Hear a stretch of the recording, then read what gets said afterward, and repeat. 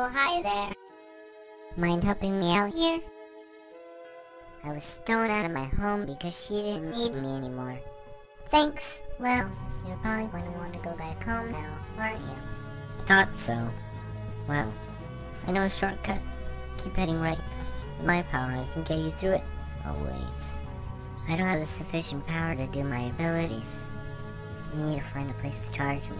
Let's just keep heading right. Oh, hi there.